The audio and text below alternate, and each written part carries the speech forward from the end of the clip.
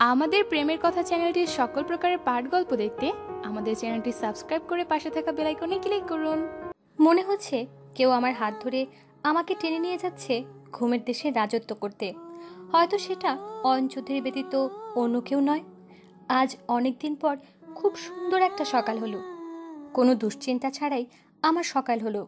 এটাকেই বলে প্রকৃত সকাল। আমি বারান্দায় দাঁড়িয়ে সকাল হওয়া দেখছিলাম। ঠিক তখনই টুনির আগমন ঘটে। ঘুম কেমন হলো? খুব সুন্দর। সুন্দর? আমি সুন্দর বলায় টুনি অবাক হয়েছে তার টুনিকে দেখলেই বোঝা যাচ্ছে। হ্যাঁ সুন্দর। ঘুম আবার সুন্দর হয় নাকি? ঘুম হয়তো ভালো হয় নয়তো খারাপ হয়। হয় টুনিমুনি ঘুমও সুন্দর হয়। টুনি আমার কথা শুনে অবাক হচ্ছে। কিছু কিছু অনুভূতি চাইলেও কারও সাথে ভাগ করা যায় না। তাই আমিও এই অনুভূতিটা টুনির সাথে শেয়ার করতে পারছি না। তবু আমার ভালো লাগছে। এক অন্যরকম ভালো লাগা কাজ করছে।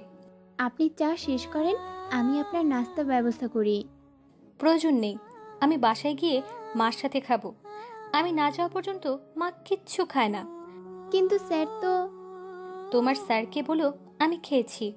তাহলে আমি ড্রাইভারকে বলছি গাড়ি বের করতে। আপনি রেডি হয়ে নিন। আমি আর টুনিকে বাধা দিলাম না কারণ টুনিকে বললেও শুনবে না। আর ওর সারি নির্দেশ ও অমান্যও করবে না।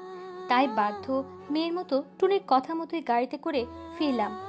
তবে এর গণ্ডি গলির মোড় পর্যন্তই। এর পরে যাওয়ার অনুমতি নেই। ইদানিং প্রতিদিনই সকালের নাস্তা নিয়েই বাসায় ফিরি। মা অনেক খুশি হয় যখন আমার হাতে কিছু দেখে। কিরে আজ তুই খাবার নিয়ে এসেছি? হ্যাঁ অনুতনু তোমার আর বাবার জন্য। তোকে না নিষেধ করলাম? সব নিষেধ শুনতে হয় না মা। আজকে নাস্তার জন্য কি বানিয়েছো মা? কিছুই না তুই নাস্তার জন্য প্রতিদিনই তো কিছু না কিছু নিয়ে আসিস। তাই তো কিছু বানাইনি। দেখলে তো? তাহলে আজ যদি আমি খালি হাতে আসতাম তাহলে আমার অনু আর তনু কি খেয়ে যেত? সে আমি কিছু একটা বানিয়ে দিতাম। তুমি তো রান্না করোই। একবেলা না হয় না করলে? সেই তো ডাল ভাত ছাড়া তেমন কিছুই করতে পারি না। কতদিন ধরে তোদের ভালো মন্দ কিছু রান্না করে খাওয়াতেও পারি। কথাটা বলতেই একটা চাপা নিঃশ্বাস বেরিয়ে এলো মার।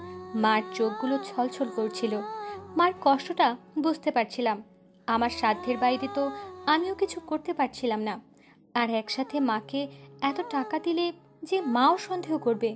না পারছি পরিবারের কষ্ট দেখতে, না পারছি কিছু করতে। সংসারের মেয়েগুলো এত অসহায় কেন হয়? কেন মেয়েগুলোর ইচ্ছে থাকা সত্ত্বেও তারা নিজের পরিবারের জন্য কিছু করতে পারে না? গতরাতে খুব ভালো ঘুম হয়েছে, তাই আজ আর ঘুমালাম না। মাকে ঘরের কাছে হেল্প করলাম। মা তো আমাকে কিছু করতেই দিবে না। তাই টুকটাক এটা ওটা করতে লাগলাম। ঘর গুছাতে গুছাতেই ফ্রিজটা খুললাম। দেখি পরিষ্কার করা লাগবে কিনা। ফ্রিজটা খুলতেই বুকের ভেতরটা ধূপ করে উঠল। আমি আমার এতটা বয়সে কখনো দেখিনি, আমার ফ্রিজ খালি। আমার মার ফ্রিজ সব সময় ভরা থাকতো। এই খালি ফ্রিজটা দেখে আমার এত কষ্ট হচ্ছে তাহলে আমার মার না জানি কত কষ্ট হয়। ঘর গোছানো শেষ করেই কাপড় পাল্টে নিলাম। চুলগুলো মাথায় তুলে হাত খোপা করতে করতে মাকে ডাকতে শুরু করলাম। মা ও মা কোথায় তুমি? কিরে চাচাচ্ছিস কেন? বাজারের ব্যাগটা দাও তো। বাজারের ব্যাগ দিয়ে তুই কি করবি? কি করব মানে? বাজার করব। বাজারের ব্যাগ দিয়ে মানুষ কি করে? তুই করবি বাজার? হ্যাঁ বাজার করব। দাও এখন বাজারের ব্যাগটা এনে দাও। মাকে অবাক করে দিয়ে আমি বাজারের ব্যাগটা নিয়ে বেরিয়ে পড়লাম। জীবনে কোনো দিন বাজার করিনি। আজ প্রথম বাজারে যাচ্ছি। আমি ছোটবেলা থেকেই দরদামে খুব পাকা। বাবার থেকেই শিখেছি। ব্যাগ ভর্তি বাজার করে বাসায় ফিরলাম। আজ মনটাও ফুরফুরা লাগছে। বাজার করে অনু আর রেনুর জন্য টুকটাক কেনাকাটাও করলাম। ওদের জন্য কিনতে গিয়েই এক পাতা কালো টিপে চোখ পড়ল।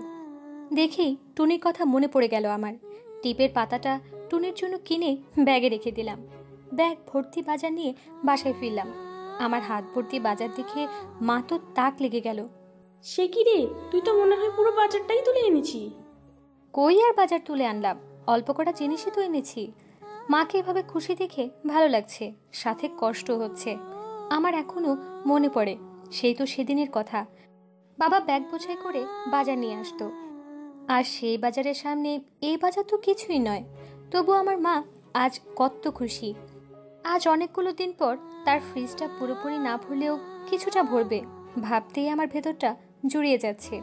অনেকদিন পর মার মুখে হাসি দেখলাম। সারা দিন অনু রেনু আর বাবার সাথে গল্প করে কাটিয়ে দিলাম। অনেকদিন পর মনের মতো একটা দিন গেল আমার। কি রে সময়ের খেয়াল আছে তোদের? রেনুকে ছাড়? ওর অফিস যেতে হবে যে। মা আর একটু প্লিজ সে কি কথা? আটটা বাজে প্রায়। আজ এখানে থাক আবার কাল খেলব। বলেই আমি উঠে গেলাম। আমার নিজেরও আজ উঠতে মন চাইছিল না। আজ না গেলেও সমস্যা নেই। মানুষটা তো নেই। তবে না গেলে মা যদি সন্দেহ করে এটাতে চলে যাওয়াই ভালো হবে। টুনিটাও তো আমার অপেক্ষা করবে। গলির মোড়ে আসতেই দেখি তার গাড়িটা দাঁড়িয়ে আছে। আমি চলে এলাম টুনির কাছে। এতক্ষণে আসার সময় হলো সে কখন থেকে অপেক্ষা করছিলাম। রাগ করলে আপনার উপর কি রাগ করতে পারি? আসুন। টুনি আমার হাত ধরে টেনে আমাকে উপরে নিয়ে গেল। খেয়ে আসেননি তো? সন্ধ্যায় খেয়েছিলাম। খেয়েছি শুনে টুনি চোখ বড় বড় করে আমার দিকে তাকালো। আর ঘন্টাখানেক গেলে আবার খেতে পারব। ঠিক আছে আর যেন না শুনি কে এসেছেন? আমি টুনির হাত ধরে ওকে পাশে বসিয়ে বললাম কি করব বলো? মা যে না খেয়ে বের হতে দিতে চায় না। মা? হ্যাঁ মা। ঠিক আছে তাহলে অল্প খেয়ে আসবেন কিন্তু আমার সাথেও খেতে হবে। আচ্ছা খাব। মা শব্দটা শুনে টুনির মুখটা কেমন যেন ফ্যাকাশে হয়ে গেল। দেখে বুঝতে পারছি ওর ভেতরে কোনো একটা ঝড় বইছে। টুনি? জি। মাকে খুব ভালোবাসো তাই না? মায়ের কথাটা বলার সাথে সাথেই টুনি আমাকে হুট করে জড়িয়ে ধরল। ওর জড়িয়ে ধরার মাঝে অনেক কষ্ট ছিল যা আমি খুব করে অনুভব করতে পারছিলাম। এই মায়াভরা হাসি মুখ মেয়েটার মাঝেও অনেকগুলো কষ্ট লুকিয়ে আছে। আর আজ আমি ওর কষ্টগুলোতে নাড়া দিয়ে বসলাম। বেশ অনেকক্ষণ টুনি আমাকে জড়িয়ে ধরে রাখল। মেয়েটার কান্নাটাও ভারী ভিন্ন। এত কাঁদলো, তবে একটুও শব্দ করল না। একটা গঙ্গানিও দিল না। আমি টুনির জন্য পানি আনতে উঠতে নিলেই টুনি আমার হাতটা ধরে বলে, শুনবেন আমার মায়ের কথা? আমি টুনির মাথায় হাত রেখে বললাম হ্যাঁ শুনব সব শুনব। বলে টুনির হাত থেকে হাতটা ছাড়িয়ে ওর জন্য পানি ঢেলে এনে দিলাম। আগে পানিটা খাও। কষ্টে মেয়েটার মুখ দিয়ে পানিও যাচ্ছে না। এক ঢোক পানি খেয়ে টুনি আমার দিকে চোখ তুলে তাকায়। কি মায়া সেই চাহনিতে। জানেন আমার মা না দেখতে আপনার মতো ছিল। আমি আপনার মাঝে আমার মাকে দেখতে পাই। ও আমার মাঝেও ওর মাকে দেখতে পায়। কথাটা শুনে আমার বুকের ভেতরটা কেমন করে উঠল। টুনিটা আমার অনুর বয়সী, তাই এখন টুনির মাঝে আমি আমার অনুকেই দেখতে পাচ্ছি। টুনি বলতে শুরু করল, আমার মার বাবা আমার মাকে খুব অল্প বয়সে বিয়ে দিয়ে দেয়। আমার মা না অনেক রূপবতী ছিল না, তবে মায়াবতী ছিল। আমার মায়ের গায়ের রং দুধে আলতে ছিল না, তবে একবার দেখলে আবার তাকাতো মায়ের দিকে। ঠিক অবিকল আপনার চোখের মতো ছিল, আমার মায়ের চোখগুলো। বিয়ের বছর পরেই মার কোল জুড়ে আসলাম আমি। খুব শখ করে মা আমার নাম দিয়েছিল টুনি। বাবার সাথে মায়ের সম্পর্ক ভালোই ছিল। কখনো কোনো ঝগড়া দেখিনি। একদিন মাঝরাতে মায়ের চিৎকারে আমার ঘুম ভেঙে গেল। আমার দাদির সাথে অন্য ঘরে ছিলাম। আমি মার চিৎকার শুনে উঠতে চাইলে দাদি আমাকে বাধা দেয়। তবু আমি দাদির বাধা উপেক্ষা করে দৌড়ে ঘর থেকে বেরিয়ে দাওয়ায় চলে এলাম। এসেই দেখি অন্য পাশে মায়ের ঘরের দাওয়ায় মা বসে কাঁদছে। বাবা বাড়ি থেকে বেরিয়ে গেল। আমি দাঁড়িয়ে দাঁড়িয়ে মায়ের আর্তনাদ শুনতে লাগলাম। মা বলছিল, আপনি যাইয়েন না, আমার কথা শুনেন, যাইয়েন না আপনি। আমি ওইটুকু মানুষ, কী বা বলতাম? পা টিপে টিপে মায়ের কাছে গিয়ে দাঁড়ালাম। মা আমাকে জড়িয়ে ধরলো। তারপর কয়েকদিন বাবাকে দেখিনি। কোথায় ছিল জানি না। আমি মাকে জিজ্ঞাসা করলাম, মা, বাজান কই গেছে? আহে না কি লেগা? আমার পরানরা বাজানের লেগা কেমন কেমন করে মা? মা আমাকে জড়িয়ে ধরে শুধু কাঁদে।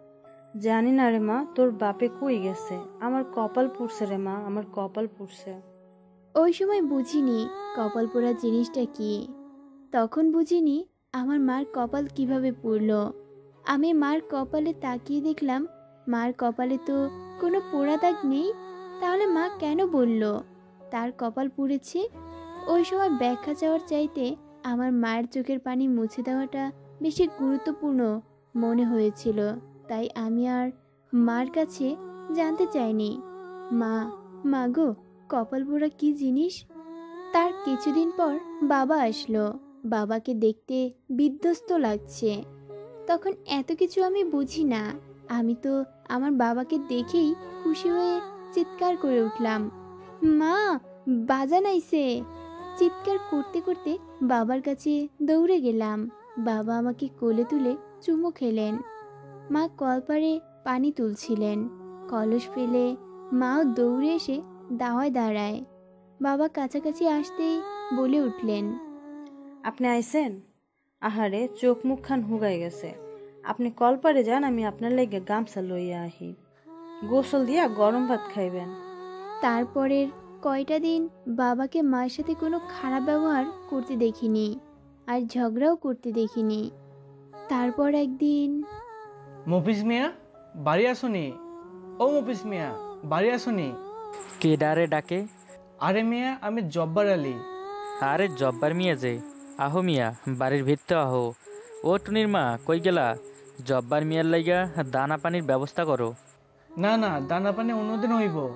আজকে একটা দরকারি কামে আইছি। কি কাম কও মিয়া? জব্বার আলী ফিস ফিস করে বাবাকে বলল একদল বড় পার্টি আইছে। কথাটা বলেই তারা একে অপরের মুখ চাওয়াচাওয়ি করে। আমি পাশেই দাঁড়িয়েছিলাম। এদিকে আহো। জব্বার কাকা বাবাকে সাইডে নিয়ে গিয়ে কি কি যেন বলল। বাবা তাকে বিদায় করে দিয়ে তড়িঘড়ি করে ঘরে গেলেন। ও টুনির মা টুনির মা ট্যারাঙ্কের চাবিটা দাও তো। বাবার যেন তর সইছিল না। মা রান্নায় ব্যস্ত ছিল। বাবা তাড়াহুড়ো করে বেরিয়ে আসে। মার আঁচল থেকে চাবিটা নিয়ে আবার ঘরে যায়। শুধু ট্রাঙ্ক খোলার খট করে শব্দ পেলাম। কি করল কিছুই জানি না। মাকে চাবিটা দিয়ে একটু কাজ আছে বলে বাবা চলে গেল। মা পিছন থেকে চিৎকার করতে লাগল। আপনি খাইবেন না? রাইতে আইয়া খামু। সেদিন অনেক রাতে বাবা বাড়ি ফেরে। বাবার মুখ চোখ কেমন যেন লাগছে দেখতে। বাবাকে দেখেই মা আমাকে বলল মা যাও দাদির লগে গিয়া ঘুমায় পড়ো। আমি বের হতে হতে শুনলাম। আপনি হাত মুখ ধুয়ে আহেন আমি আমি ভাত বাড়ি আপনার লাইগা। না ভাত খামু না। কেন খাইবেন না? কি হয়েছে আপনার?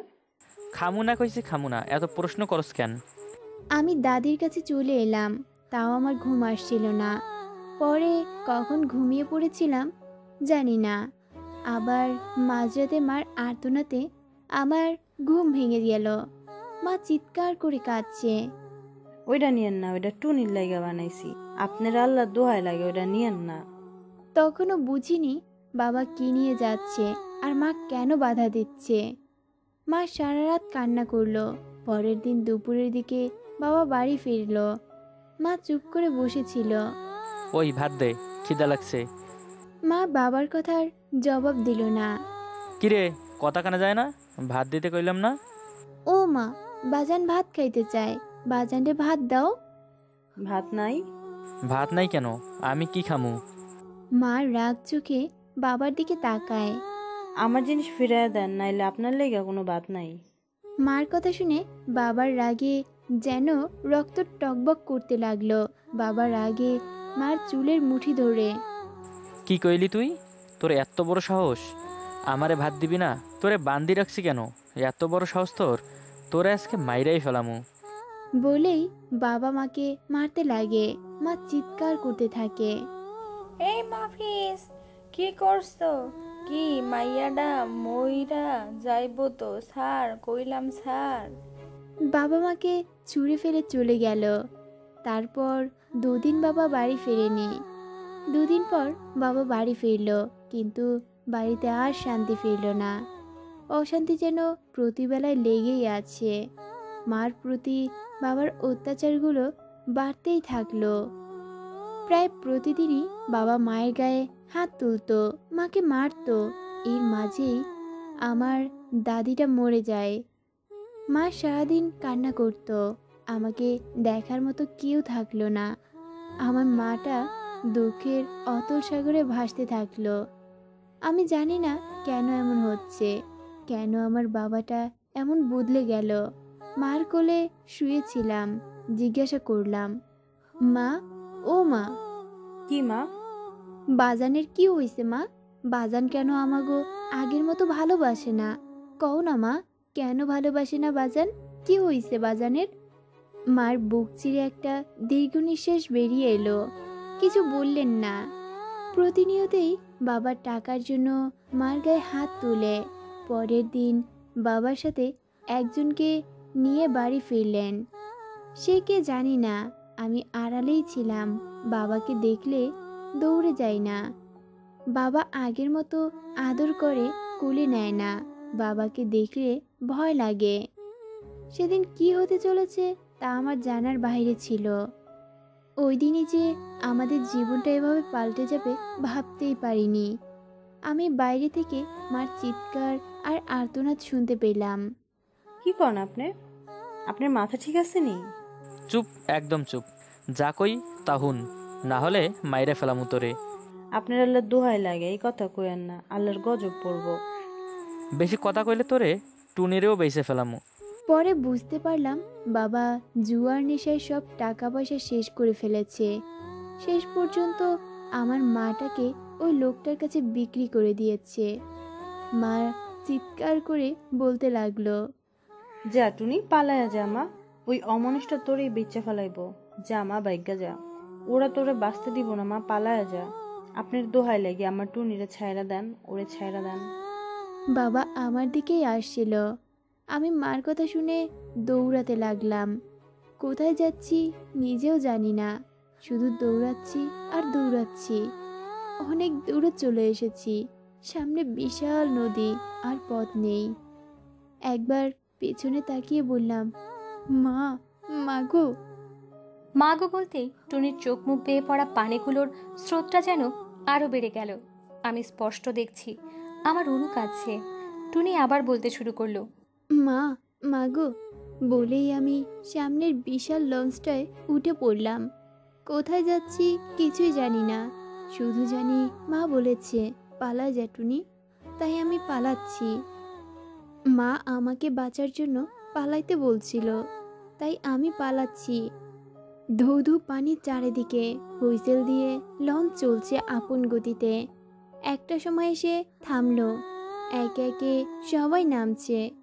কিন্তু আমি কোথায় যাব? কার কাছে যাব? আমি এত মানুষের ভিড়ে আমার মাকে খুঁজতে লাগলাম। মা মা গো, তুমি কই মা? ও মা, তুমি কই? মা গো, হাজার মানুষে ভিড়ের ঠেলায় আমি আগাতে লাগলাম সামনে। সেই সকাল থেকে হেঁটে যাচ্ছি। কোথায় যাচ্ছি জানি না। শুধু হাঁটছি। দিন শেষ হয়ে রাত হলো। ধীরে ধীরে অন্ধকার হয়ে গেল চারিদিক। আমার যাওয়ার কোনো জায়গা নেই। এক অন্ধকার গলিতে হাঁটছি। তখনই পেছন থেকে কেউ বলল কিরে যাবি নাকি? দাম কত তোর? এক রাতের জন্য কত নিবি? আমি একবার পিছনে ঘুরে দেখে সামনে দৌড়াতে লাগলাম। ওই লোকটাও আমার পিছু পিছু দৌড়াতে লাগল। কিরে দৌড়াচ্ছিস কেন? কত নিবি বল না? অন্ধের মতো দৌড়াচ্ছি আর দৌড়াচ্ছি। তখনই একটা গাড়ির সামনে গিয়ে পড়লাম। আল্লাহ হয়তো আমার ভাগ্যে মৃত্যুর চাইতে ভালো কিছু লিখে রেখেছিল। গাড়ি থেকে একজন ফেরিস্তা নেমে এলেন। হ্যাঁ সে আমার জন্য ফেরিস্তা আমি তার পিছনে গিয়ে বললাম আমারে বাঁচান। সে বলল পিছনে দাঁড়া আমি দেখছি। সেদিনের সেই ফেরিস্তাটা আর কেউ নয় আমার স্যার। আমার আরেকটা বাবা, যে সেই রাতে শুধু আমার সমানই বাঁচায়নি, আমাকে দিয়েছে নতুন একটা জীবন।